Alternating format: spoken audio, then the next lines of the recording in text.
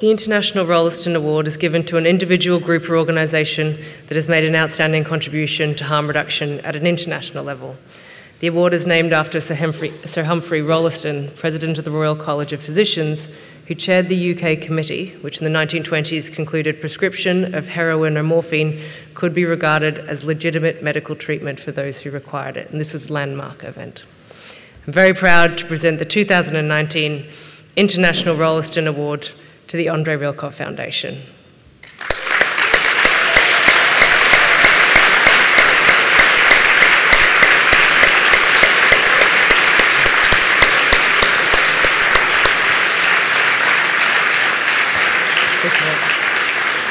Andrey Rylkov is a grassroots. Hello. Andrey Rylkov is a grassroots organization from Moscow focused on promoting humane drug policy. In the five years I have known staff of the Andrey Rylkov Foundation, I've been inspired by their work, from their narcophobia campaign and their visible international fight against the heavy fines imposed under the Foreign Agents Law, to street outreach, making both sterile needles and paralegal advice available, to challenging the Russian ban on opiate substitution treatment through Russian courts and now at the European Court of Human Rights. Their international activism, regional influence, and service delivery in the face of incredible odds have redefined resistance in the harm reduction sector. I'd like to introduce you to Lena Remnieva and Maxim Malyshev.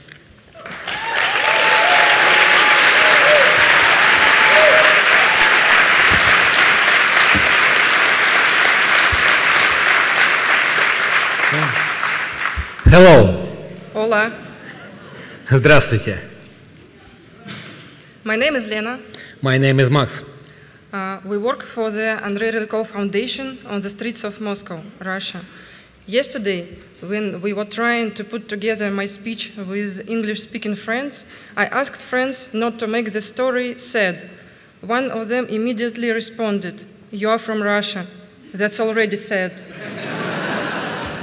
and he's right. Drug policy in Russia is inhuman. People who use drugs have to fight for their life.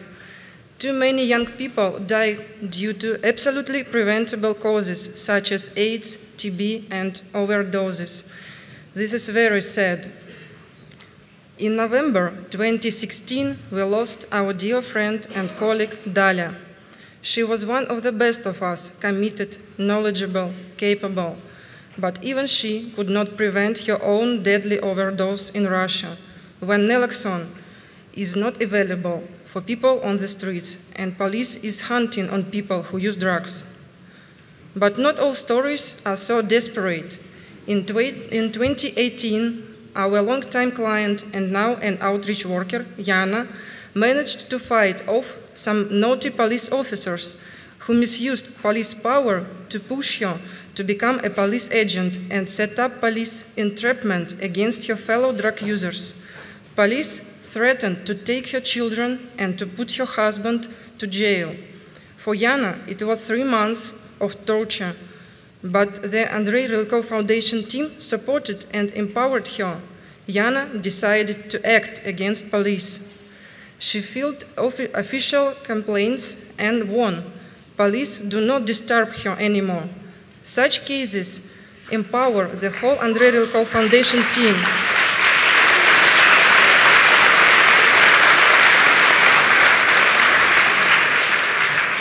Such cases empower the Andrey Rylkov Foundation team and the community of people who, who use drugs in Russia.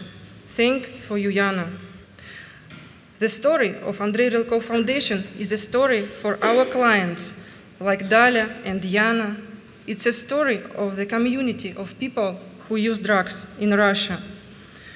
Today, the Rolleston Award is to thank and recognize them, not the less than to thank and recognize a wonderful team of the Andrey Rylkov Foundation.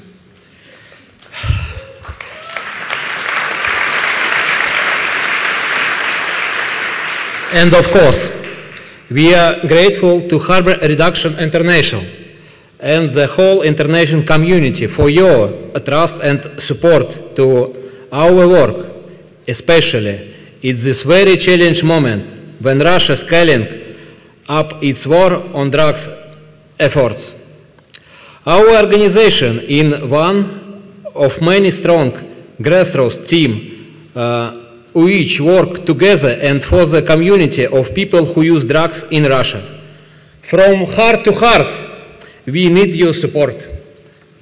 Thank you. Obrigada. Спасибо.